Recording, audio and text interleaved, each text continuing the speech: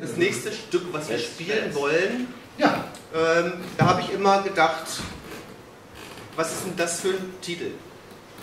Also vom, vom Namen her.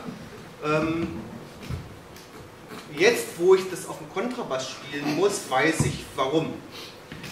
Das muss was mit Sehnenscheidenentzündung zu tun haben.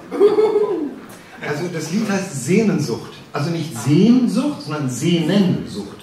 Also, ne? Eine Sehne oder so. Und ist das, hat das tatsächlich damit zu tun? Irgendwie mit.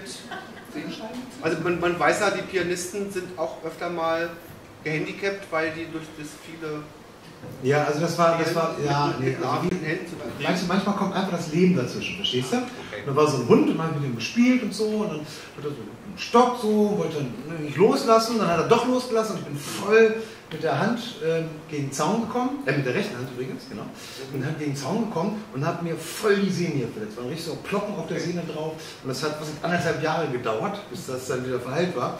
Und ich konnte nicht mit rechts spielen, es hat einfach irre geschmerzt. Und dann habe ich einfach mit links einfach mir gedacht, oh, quäle ich mal so ein paar Kontrabassisten und lass mir eine schöne linke Hand einfallen und mache dann nur mit den Fingern ohne Daumen spielen.